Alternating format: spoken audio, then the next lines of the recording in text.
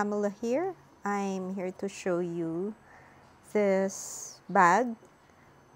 I actually bought it from the men's section, but I believe this can be used by female too.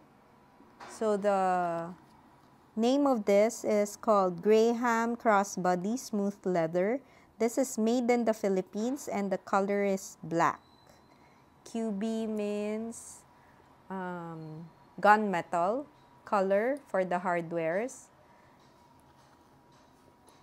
So there's that hardware coach. You can hang a coin purse here. It Comes with this hang tag.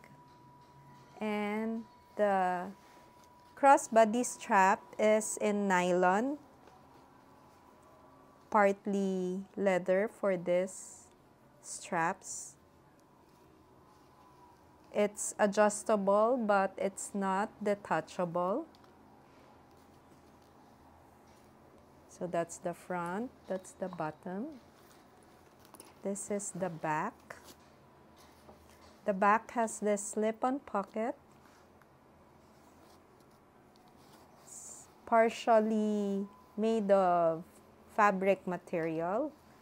Then, this is the top part. It has two zip pockets. For the first zip pocket, it has this multifunctional pocket here. And it's pretty wide.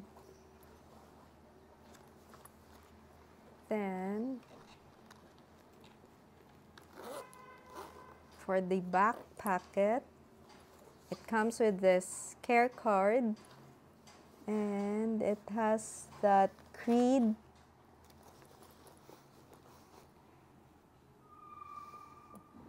The model number is C4148, so it's the same as this. It's one way to check.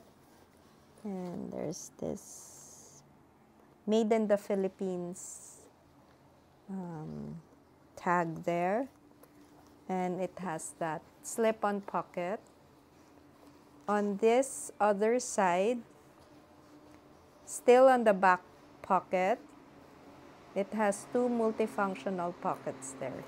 I find bags for men quite practical because they're bigger. Like this, this is a crossbody bag but it's not, the size is just enough. It's not too small, yet not too big. So you can place a lot of things. In fact, this can, you can put in a long accordion wallet and you can still put in some more things like cell phones. Uh, maybe you can place in like a small makeup kit if you'll just be bringing your lipstick, your powder, your blush, they can fit in. Please stay tuned for the mod shots at the end of this video. Then, let's take the dimensions. Length is 9 inches. So that's wide. Height is 5.75 inches. And the width is 3 inches.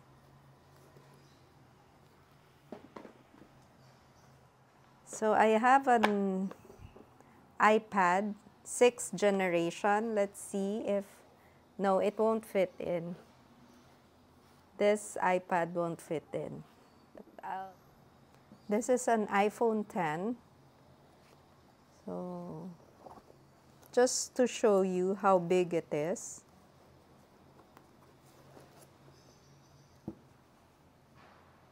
See, a lot of spaces there.